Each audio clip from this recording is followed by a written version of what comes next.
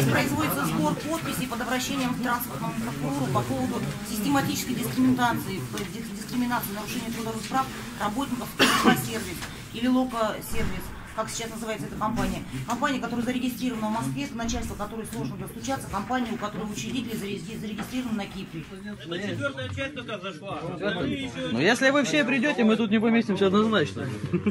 Да не, просто знаете, вот смысл вы в это собрались, чтобы видели, что людей уже задолбали.